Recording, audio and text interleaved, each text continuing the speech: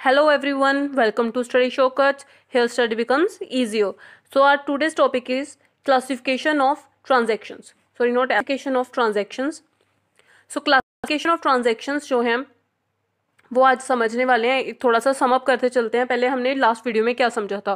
तो last video में हमने अकाउंटिंग इक्वेशन समझी थी, जिसमें हमने देखा था कि अकाउंटिंग इक्वेशन क्या होती है? Capital plus liabilities is equal to assets होते हैं।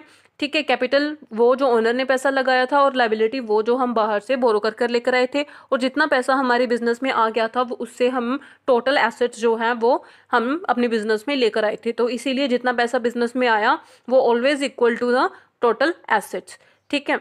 तो उसी इक्वेशन को समझते हुए हम ट्रांजेक्शन्स जो हैं ट्रांजेक्शन तो आपको पता है क्या होती हैं कोई भी एक्टिविटी जो भी बिज़नेस में होती है ठीक है जिससे क्या होता है बिज़नेस में आ, कोई भी चीज़ आती है या जाती है तो उसको हम क्या कहते हैं बिज़नेस लैंग्वेज में ट्रांजेक्शन कहते हैं। बाकी डिटेल में ट्रांजेक्शन्स क्या होती हैं उसके लिए एक बेसिक नम की वीडियो ऑलरेडी बन रखी है तो आप प्लीज़ पहले वो कंसीडर करें उसको देखें समझें कि ट्रांजेक्शन्स क्या होती हैं और फिर इस वीडियो को आकर देखें। सो बिज़नेस ट्रांजेक्शन्स जो हैं वो क्या होती हैं बिज़नेस में इन कोई भी ऐसी एक्टिविटी होती है, जिससे क्या होता है, बिज़नेस की कैपिटल, एसेट और लाइबिलिटी इन तीनों की वैल्यू में कुछ चेंज आता हो, चाहे वो बढ़ता हो या डिक्रीज होता हो, इन तीनों चीज़ों के वैल्यू में अगर कुछ डिक्रीज या इंक्रीज होता है या चेंज आता है, उसको हम कहते हैं ट्रांजेक्शन यानी कि ट्रांजेक्शन के जो तीन तीन मेन एलिमेंट्स हैं, वो क्या हो गए? एसेट लाइबिलिटी और कैपिटल ठीक है, इसके मेन तीन एलिमेंट्स कौन से हो गए? एसेट लाइबिलिटी और कैपिटल इन्हीं की वैल्यू में चेंज आने को कहते हैं कि हमारे बिज़नेस में कुछ ट्रांजेक्शन हुई है. अब जो बिज़नेस की ट्रांजेक्शन है, वो क्या हो सकती है? या तो वो वन मेन एलिमेंट को इफ़ेक्ट करती हो या फिर टू मेन एलिमेंट्स को इफ़ेक्ट करती हो, या फिर all the three main elements को इफ़ेक्ट करती हो, यानी कि किसी ट्रांजेक्शन से या तो उसका इफ़ेक्ट सिर्फ़ एक पर पड़े, या फिर दो पर पड़े, या फिर तीनों element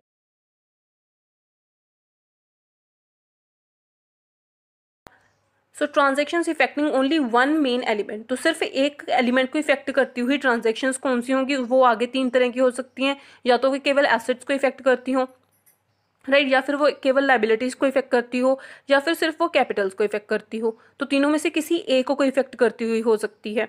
इसी तरह transaction affecting two main elements तो दो मेन एलिमेंट्स को इफ़ेक्ट करती हुई ट्रांजेक्शन भी होती हैं। जैसे एसेट्स और लाइबिलिटीज़ को इफ़ेक्ट कर रही हो या फिर एसेट और कैपिटल को इफ़ेक्ट करती हो या फिर लाइबिलिटी और कैपिटल को इफ़ेक्ट करती हो। ठीक है इस तरह से भी हो सकती है। ये हो गई दो मेन एलिमेंट्स को इफ़ेक्ट करती हुई ट्रांजेक्शन अब तीसरी टाइप की ट्रांजेक्शन कौन सी होती है जो all the three main elements को इफ़ेक्ट करती हैं? अब all the three main elements को अगर इफ़ेक्ट करेंगी तो क्या हो सकता है? या तो तीनों इंक्रीज हो सकते हैं या तीनों डिक्रीज हो सकते हैं। देखो, कोई भी ट्रांजेक्शन हो, वो किसी भी एलिमेंट को, कितने भी एलिमेंट को इफ़ेक्ट कर रही हो एट द एंड हमारे पास क्या आना चाहिए? जो हमारी अकाउंटिंग इक्वेशन है, वो क्या होनी चाहिए? बैलेंस्ड होनी चाहिए। अब ये जो हमने चार्ट देखा है, इसको हम एक छोटी सी एग्जांपल के साथ समझते हैं। देखते हैं एक छोटी सी एग्जांपल के साथ कि ये ट्रांजेक्शन जो हैं, कैसे एक एक एलिमेंट को इफ़ेक्ट करती हैं। हाँ जी तो ये आप जो देख रहे हैं, ये मैंने एक सेटअप किया है, जिससे हम समझेंगे की क्लासिफ सो so, सबसे पहले हम समझने वाले हैं उस ट्रांजेक्शन्स के बारे में जो सिर्फ़ एक एलिमेंट को इफ़ेक्ट करती हैं। सिर्फ़ एक एलिमेंट और अभी हम करने वाले हैं एसिड को इफ़ेक्ट करने वाली ट्रांजेक्शन्स तो जैसे कि आप देख रहे हैं वीडियो में वैसे तो ये टमाटर हैं और ये हैं आलू ठीक है? हम अपनी लाइफ की एग्जांपल्स ही रहते हैं आप सम, आपको जानते हैं जैसे भी हमने अकाउंटिंग शुरू की थी प्लस वन की तो फ़र्स्ट वीडियो ही हमने क्या की थी अपनी लाइफ की एक एग्जांपल ली थी जो हमारी डेली लाइफ में होती हैं। मैंने पहले ही कहा था अकाउंटिंग वही होती है जो हमारी डेली लाइफ में चीज़ें होती हैं। पहले हमने एग्ज़ाम्पल ली थी एक बच्चे की पॉकेट मनी से ली थी ठीक है फिर हमने एक बिज़नेस शुरू किया था एंड देन अब आज हम एग्ज़ाम्पल ले रहे हैं प्याज और टमाटर प्याज टमाटर और आलू के साथ तो इससे क्या है ये भी हमारी डेली लाइफ में यूज़ होने वाली चीज़ें हैं राइट तो इसी को समझते हो इसी को एग्ज़ाम्पल लेकर हम अपनी अकाउंटिंग को समझेंगे। इट्स वेरी फनी एग्ज़ाम्पल तो आपको सुनने में भी मज़ा आएगा और इससे आपके कंसेप्ट भी बहुत अच्छे से क्लियर हो जाएँगे। ठीक है तो आप समझते हैं। देखिए, मैं इनको प्याज और टमाटर, आलू नहीं बोलूँगी। एग्ज़ाम्पल मैं इसको कहूँगी रेड कलर की एसेट पिंक कलर की एसेट और ये हो जाएँगे हमारे येलो कलर की कैपिटल ठीक है, अब आपको एसेट्स तो पता है क्या होते हैं? एसेट्स क्या होते हैं? वो चीज़ें होती हैं, वो रिसोर्सेज होते हैं जिन्हें बिज़नेस ने ओन किया हो, यानी कि खरीदा हो, उस पर उनका हक हो और उससे हमें इकोनॉमिक बेनिफिट भी फ्यूचर में आने वाले हो और उसकी कोई इकोनॉमिक वैल्यू भी होनी चाहिए।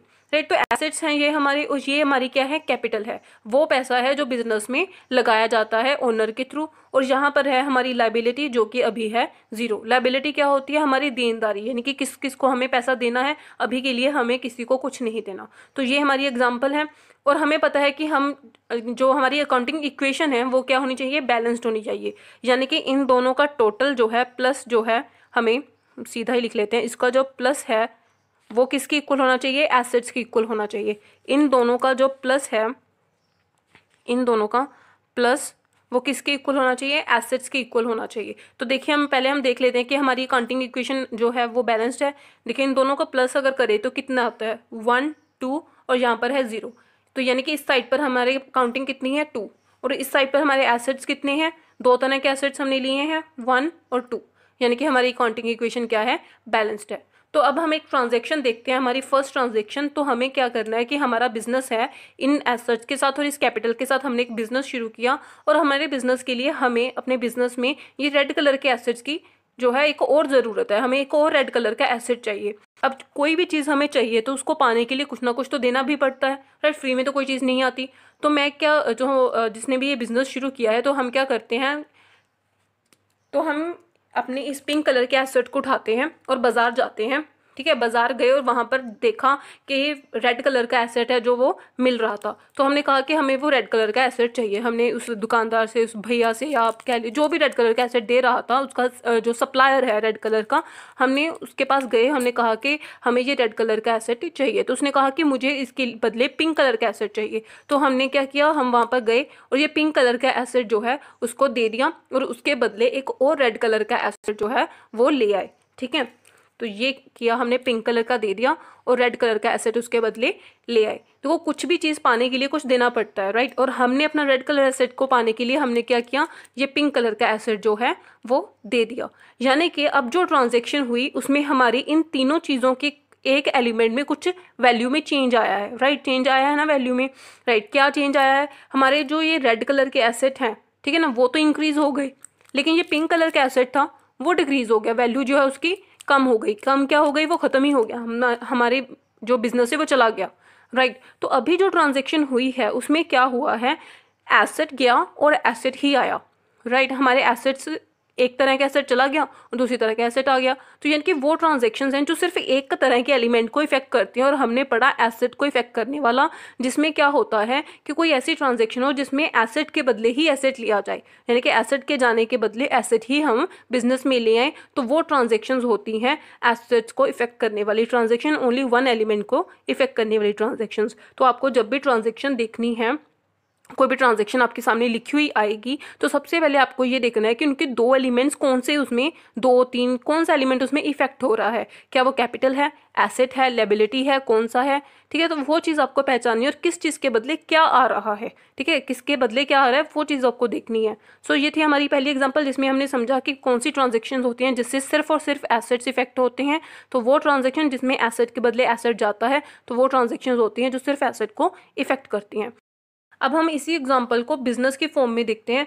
देखिए बिज़नेस में तो ये देखो, टमाटर और प्याज बिज़नेस चीज़ें होंगी जो यूज़ करते हैं। ठीक है बिज़नेस में फॉर एग्ज़ाम्पल जो रेड कलर का हमारा एसेट है, ये क्या है? मशीनरी है। तो ये क्या है? हमारी मशीनरी ठीक है? और ये जो पिंक कलर का है, वो है हमारा कैश बिज़नेस में जो है हमारा कैश तो रेड कलर का जो एसेट है, वो है हमारी मशीनरी उसको हम देते हैं। ठीक है मशीनरी और ये है हमारा कैश राइट? तो क्योंकि देखो, मैंने पिछला जो अब हमने ये वाली एग्जांपल की थी तो तब हमने क्या किया था? हमने ये पिंक कलर के एसेट के बदले हम रेड कलर के एसेट लेकर आए थे।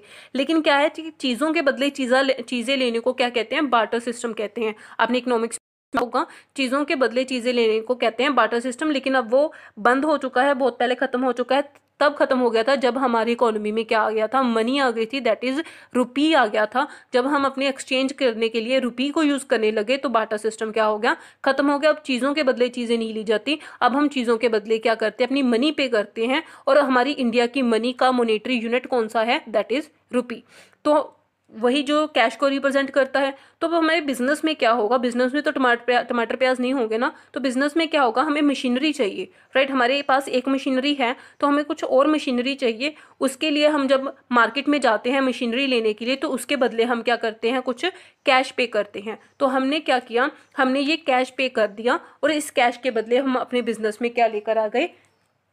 जो हमारी मशीनरी है, एक और मशीनरी जो है, वो हम लेकर आ गए। तो यानी कि जैसे ही हमने कैश पे किया, ये वाला कैश जो है हमने एसेट कैश भी हमारा एसेट है और मशीनरी भी हमारी एसेट है। ठीक है कैश भी हमने ओन किया हुआ है, हमारे रिसोर्स है इकोनॉमिक वैल्यू है, इससे हमें फ्यूचर बेनिफिट होने वाले हैं। एंड सेम इसके भी तीनों बॉक्सेस जो हैं, वो टिक होते हैं, यानी कि दोनों हमारे क्या हैं एसेट्स हैं। और ये जो कैश है, मैंने एक एसेट दे दिया और इसके बदले मैंने दूसरा एसेट जो है, वो ले आई बिज़नेस में। यानी कि ये जो ट्रांजेक्शन हुई कैश के बदले मैंने जो मशीनरी लेकर आई, इसने क्या किया? एक एसेट गया और एक एसेट आया। इससे क्या हुआ? सिर्फ़ एक एसेट ही इफेक्ट्स हुए और हमारी देखो जो अकाउंटिंग इक्वेशन है, वो बैलेंस्ड है। यहाँ का टोटल है टू और यहाँ का टोटल भी है। तो इससे हमारी अकाउंटिंग इक्वेशन क्या है? बैलेंस्ड है, और इसने इफ़ेक्ट किसको किया? सिर्फ़ एसेट्स को किया। ऐसी ट्रांजेक्शन थी जिसने सिर्फ़ एक एलिमेंट को इफ़ेक्ट किया था, क्योंकि सेम टाइप का एलिमेंट जो है वो गया था, और सेम टाइप का एलिमेंट ही आया है दैट इज़ एसेट्स तो अब हम देखते हैं कि हमारी बाकी के एलिमेंट्स कैसे इफ़ेक्ट होते हैं। तो अब हम देखते हैं हमारी सेकेंड एग्ज़ाम्पल ठीक है, इसमें क्या है कि जैसे आपको दिख रहा है कि हमारे बिज़नेस में क्या है, ये है हमारी मशीनरी यानी कि रेड कलर का एसेट ये है पिंक कलर का एसेट जो था हमारा कैश है कैपिटल जो हमारे ओनर ने बिज़नेस में पैसे लगाए हुए हैं और यह हमारी लाइबिलिटी जो कि अभी ज़ीरो है, जो कि हमारी कोई भी देनदारी नहीं है। तो क्योंकि ओनर ने हमारे बिज़नेस में पैसा लगाया है इन्वेस्ट किया है उसने पैसा तो वो भी तो रिटर्न में कुछ उसे चाहिए होगा। तो वो क्या कहता है कि मैंने आपके बिज़नेस में जो है मनी लगाई है, पैसा लगाया है कैपिटल लगाई है तो उसके बदले मुझे क्या दो? इंटरेस्ट दो। तो हम क्या कर रहे हैं तो एक सपोज़ अभी हम एक इसी आलू के एग्ज़ाम्पल को लेकर समझते हैं, फिर हम बिज़नेस के एग्ज़ाम्पल को लेकर समझेंगे। सपोज़ एक बड़े आलू के बदले हम उसको कितना इंटरेस्ट पे करें ये एक छोटा आलू जो है हम उसको एज अ इंटरेस्ट पे कर रहे हैं। ठीक है? तो ये कैपिटल थी उसकी और हमारी अकाउंटिंग इक्वेशन बैलेंस थी। तो इस कैपिटल को इन्वेस्ट करने के बदले हमें उसे इंटरेस्ट पे करना था। तो ये जो है इंटरेस्ट हमने उसको पे कर दिया। यानी कि हमारी कैपिटल जो है वो यहाँ से निकल गई रिड्यूस हो गई। ठीक है, यानी कि पैसा हमारे पास चला गया ना, कम हो रहा है क्योंकि हमने उसको कैपिटल एज अ इंटरेस्ट दे रहे हैं। तो जो इंटरेस्ट हम उसको दे रहे हैं तो वो दे कहाँ रहे हैं हम उसको? तो हम उसकी कैपिटल में ही प्लस करते जाएँगे, उसको दिया हुआ इंटरेस्ट और ये हो गया उसका कैपिटल में उसका इंटरेस्ट प्लस तो इससे क्या हो गई कैपिटल हमारी फिर से जितने अमाउंट से कम हुई थी, उतने अमाउंट से इंक्रीज हो गई। अब जो हमने इंटरेस्ट उसको पे करना था, वापस उसको कैपिटल में ही क्यों प्लस कर दिया? क्योंकि जो भी जो भी चीज़ हमें ओनर को देनी होती है, हम क्या करते हैं, उसकी कैपिटल में ही उसको प्लस कर देते हैं। क्यों? क्योंकि वो पैसा होता है जो उसने बिज़नेस को चलाने के लिए लगाया होता है। इसीलिए वो पैसा जो एज अ इंटरेस्ट उसे मिलता जाता है, वो अपने कैपिटल में ही प्लस करवाता जाएगा, ताकि वो बिज़नेस में ही दोबारा यूज़ हो जाए। और इससे क्या होगा कि उसकी कैपिटल जब भी उसे चाहिए होगा राइट जब भी उसको अपने पर्सनल यूज़ के लिए या किसी और पर्पज़ के लिए अगर उसे कैपिटल में से कुछ चाहिए तो वो ड्रॉ कर सकता है। हमने ड्राइंग्स पढ़ी थी ना? तो जैसे जैसे कैपिटल एज अ प्रॉफिट होते हुए अगर ये बढ़ता जाएगा वैसे वैसे अगर उसे यूज़ करना होगा तो वो एज अ ड्राइंग यहाँ से लेके जा सकता है। या फिर जब कंपनी बंद होगी और उसके एसेट्स बिकेंगे, तब उसको अपना जो कैपिटल है वो वापस मिल जाएगा। लेकिन तब तक वो क्या करता है, जो भी पैसा उसे देना होता है हमें एज अ इंटरेस्ट तो वो क्या हो जाता है, उसी की कैपिटल में प्लस हो जाता है। इससे हमारी कैपिटल जो है, जितने अमाउंट से कम हुई थी, उतने ही अमाउंट से बढ़ जाती है। ठीक है? तो यानी कि सेम रहेगी हमारी कैपिटल और हमारी अकाउंटिंग इक्वेशन भी क्या है, वो बैलेंस्ड है। अब इसको बिज़नेस के एग्ज़ाम्पल में समझ लेते हैं।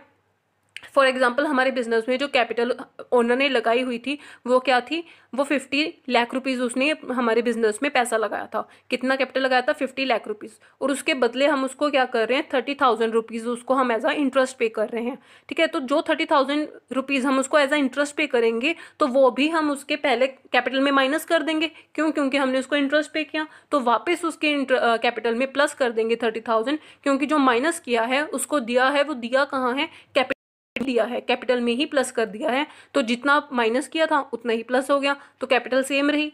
तो ये एक ट्रांजेक्शन थी जिसने कैपिटल को, सिर्फ़ कैपिटल एलिमेंट को ही इफ़ेक्ट किया और हमारी अकाउंटिंग इक्वेशन क्या थी? बैलेंस्ड ही रही। तो हमने दो एग्जांपल देख ली जिससे सिर्फ़ एसेट एलिमेंट इफ़ेक्ट हुआ और ऐसी ट्रांजेक्शन देखी जिससे सिर्फ़ कैपिटल एलिमेंट ही इफ़ेक्ट हुआ। तो हम वो ट्रांजेक्शन देख रहे हैं जिससे सिर्फ़ एक एलिमेंट इफ़ेक्ट होता है और हमारी अकाउंटिंग इक्वेशन लास्ट में क्या रहती है? बैलेंस्ड रहती है। क्लियर अब हम देख एग्ज़ाम्पल दैट इज़ लाइबिलिटी वो वाली ट्रांजेक्शन जो सिर्फ़ लाइबिलिटीज़ को इफ़ेक्ट कर से पहले हम बिल्स पेबल के बारे में समझेंगे। बिल्स पेबल क्या होता है? Bills payable is a negotiable instrument एक ऐसा इंस्ट्रूमेंट होता है नेगोशिएबल मीन्स जो ट्रांसफ़र किया जा सके। ऐसा रिटर्न डॉक्यूमेंट होता है, ठीक है? एक रिटर्न डॉक्यूमेंट जैसे एक शीट हो फॉर एग्जांपल उस पर कुछ लिखा हो तो ऐसे एक रिटर्न डॉक्यूमेंट होता है, जिसमें जो बायर है गुड्स का यानी कि जो चीज़ें खरीद कर लेकर आता है वो अपनी सप्लायर को क्या करता है जो चीज़ें वो उधार पर लेकर आता है। तो उधार पर लेकर आने के बदले वो उसको रिटर्न में क्या देता है अपनी एक्सेप्टेंस देता है कि ठीक है मैं इतनी अमाउंट मुझे आ, उस पर्सन को इतने टाइम पीरियड के बाद वो अमाउंट उसे वापस करनी है। तो वो ये जो चीज़ है वो एक्सेप्टेंस वो उसे रिटर्न में देकर आता है ताकि वो बाद में उसको उसके बिहाफ पर उससे जो है अपने, अपनी अमाउंट जो है वो क्लेम कर सके। सो इसीलिए इसे रिटर्न डॉक्यूमेंट कहा जाता है। इससे क्या होता है कि जो क्रेडिटर है, यानी कि जो सप्लायर है गुड्स का, वो क्या कर सकता है? एक तो अपना क्लेम जो है वो कोर्ट में जाकर उससे पैसे मांग सकता है। अगर बाई चांस वो पैसे देने से मना कर दे और उसके बदले वो bill of bill bills payable को क्या कर सकता है? डिस्काउंट भी करवा लेता है। लाइक अगर एक तो हो गया सप्लायर ठीक है? सप्लायर जिसने गुड्स को बेचा, एक हो गया बायर जिसने गुड्स को ख़रीदा। अब मान लो इसने इससे जो है वो उधार पर गुड्स खरीद ली, लेकिन उसके बदले क्या होगा? वो रिटर्न में लिख कर देगा कि ठीक है मुझे इतने पैसे, तुझे इतने टाइम पीरियड के बाद वो देने हैं। तो वो साथ में नीचे अपनी साइन करेगा, जिससे क्या हो जाएगा कि उसने एक्सेप्ट कर लिया कि हाँ मुझे इतने पैसे अपने सप्लायर को वापस करने हैं। क्लियर अब इसके बदले जो ये है जो सप्लायर है, वो क्या कर सकता है? एक तो मेच्योरिटी डेट आने पे मतलब जब फॉर एग्जांपल इसने कहा कि मुझे तीन महीने बाद मैं तुझे पैसे वापस करूँगा तो तीन महीने बाद जो है वो जाकर अपने पैसे वापस ले सकता है और अगर पैसे वो ना दे तो उस रिटर्न डॉक्यूमेंट के बदले वो कोर्ट में जाकर अपने पैसे जो है वो क्लेम कर सकता है।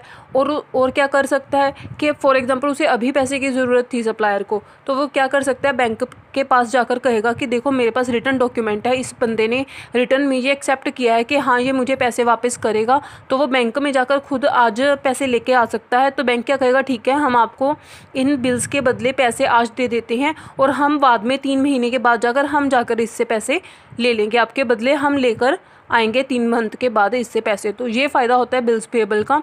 इसीलिए क्रेडिटर्स को बिल्स पेबल जो है इशू किए जाते हैं। बिल्स मतलब बिल जो अमाउंट उन्हें वापस करनी है और पेबल मतलब जो अभी पे करनी बाकी है। बिल दिया है पेमेंट की नहीं है, लेकिन पेमेंट करने का सिर्फ़ वादा किया है। तो पेबल मीन्स जो अभी पे करनी बाकी है। Bills payable is a negotiable instrument that means वो ट्रांसफ़र किया जा सकता है। रिटर्न डॉक्यूमेंट है, जिसमें जो बायर है, वो क्या करता है एक्सेप्ट करता है कि वो सर्टन मनी जो है यानी कि फिक्स्ड अमाउंट ऑफ़ मनी जो उसमें लिखी होगी, वो पे करेगा टू द सर्टन पर्सन यानी कि क्राइटर को अपने उसका नाम लिखकर टाइम पीरियड लिखकर कहता है कि हाँ मैं इस बंदे को इतने टाइम पीरियड के बाद इतनी मनी जो है वो पे करूँगा। बाकी इसका फॉर्मेट और इसकी जितनी भी और अकाउंटिंग ट्रीटमेंट है, वो हम बिल ऑफ़ एक्सचेंज के चैप्टर में पढ़ेंगे।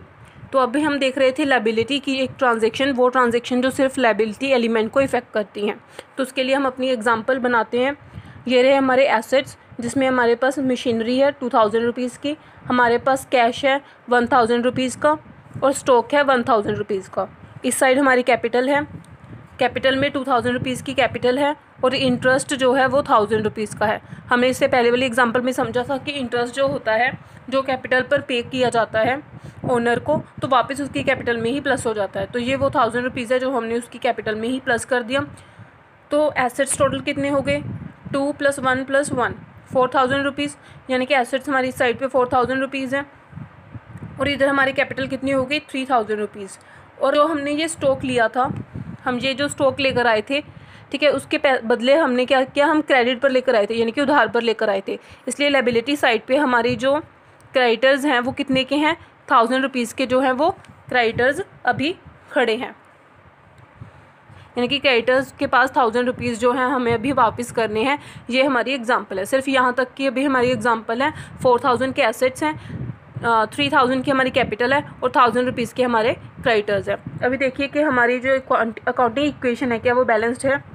कैपिटल प्लस लाइबिलिटी कितने हो गए? Two plus one plus one four thousand rupees और इसी तरह एसेट्स कितने हो गए? फोर थाउज़ेंड दैट मीन्स हमारी अकाउंटिंग इक्वेशन अभी क्या है? बैलेंस्ड है। तो अभी क्या किया? एक हमारे बिज़नेस ने, उसने क्या किया कि जो क्रेडिटर्स हैं थाउज़ेंड रुपीज़ के, उसको क्या करते हैं? कुछ बिल्स इशू कर देते हैं। कौन से बिल्स पेबल यानी कि हम रिटर्न में डॉक्यूमेंट में उनको लिख कर दे देते हैं कि हम जो है आपको इतना बिल पे करेंगे आने वाले टाइम पे। क्लियर तो उन्होंने क्या किया? हमारे बिज़नेस ने कुछ जो है अमाउंट क्रेडिटर्स से, वो क्या कर दी? बिल्स पेएबल उनको इशू कर दिया। तो कितने के किए? फॉर एग्ज़ाम्पल उन्होंने फाइव हंड्रेड रुपीज़ के बिल्स जो हैं, वो इशू कर दिए क्रेडिटर्स को। जब क्रेडिटर्स को बिल्स इशू कर दिए तो हमारे अकाउंट में क्या रिकॉर्ड होगा कि कितने के बिल्स इशू हो गए? फाइव हंड्रेड रुपीज़ के बिल्स इशू हो गए। तो जब फाइव हंड्रेड रुपीज़ के बिल्स इशू हो गए तो क्रेडिटर्स क्या हो जाएँगे? डिक्रीज़ हो जाएँगे, घट जाएँगे उतनी अमाउंट से। तो ये रही हमारी एग्जांपल हमने क्या किया? क्रेडिटर्स को रिड्यूस कर दिया। और यहाँ पर कैटस आ गए? फाइव हंड्रेड से और बिल्स पेएबल जो नया अकाउंट बन गया, वो कितने से आ गया? फाइव हंड्रेड रुपीज़ अब देखिए इस पूरी जो हमने एग्ज़ाम्पल की, इसमें इफ़ेक्ट किस पर पड़ा? सिर्फ़ लाइबिलिटी पर पड़ा. क्राइटर्स कम हो गए, लेकिन वहीं लाइबिलिटी साइड जो है बिल्स पेएबल बढ़ गए.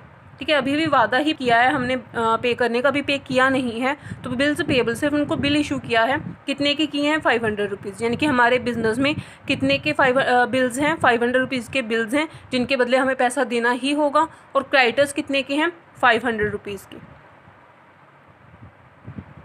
क्रेडिटर्स हज़ार से घटकर कितने पर आ गए? पाँच सौ पे। तो टोटल कितना हो गया? थाउज़ेंड ही रहा टोटल तो। टोटल में तो कोई डिफरेंस नहीं आया। तो अब बिल्स पेबल इशू करने के बाद क्या हमारी अकाउंटिंग इक्वेशन जो है वो बैलेंस्ड है? Two one plus one four two one plus ये टोटल में हो गया वन थाउज़ेंड तो ये भी कितना हो गया? फोर थाउज़ेंड तो four thousand is equal to four thousand हमारी अकाउंटिंग इक्वेशन क्या है? बैलेंस्ड है। तो ये थी ट्रांजेक्शन्स जो कि सिर्फ़ एक एलिमेंट को ही इफ़ेक्ट करती हैं। हमने सबसे पहले एसेट का देखा, फिर कैपिटल का देखा, फिर लाइबिलिटी का देखा। जब भी जो ट्रांजेक्शन सिर्फ़ एक एलिमेंट को इफ़ेक्ट करेगी, उसमें एक तो ये होगा कि उसी एलिमेंट में या एक चीज़ बढ़ रही होगी और सेम अमाउंट से एक चीज़ कम हो रही होगी। जैसे यहाँ पे फाइव कम हुए तो सेम अमाउंट से बिल्स पेएबल जो है वो बढ़ गए ठीक है, यानी कि जब सिर्फ़ एक एलिमेंट इफ़ेक्ट होता है तो वहाँ पे सेम अमाउंट से एक चीज़ बढ़ती है और एक चीज़ घटती है। दोनों एक साथ इंक्रीज या एक साथ डिक्रीज़ नहीं हो सकती। एक इंक्रीज़ होगी, दूसरी डिक्रीज़ होगी।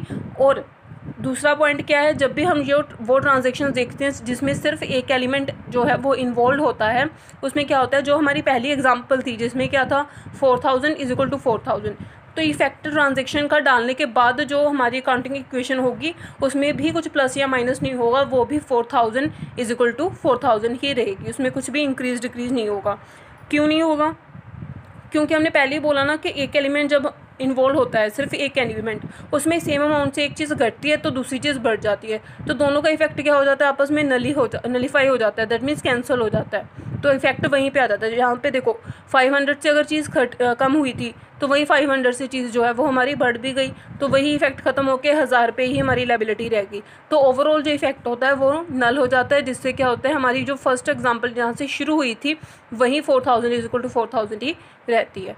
तो ये थी ट्रांजेक्शन्स की एग्ज़ाम्पल्स तो अभी एक एक करके ट्रांजेक्शन सभी को हम डिटेल में पढ़ेंगे।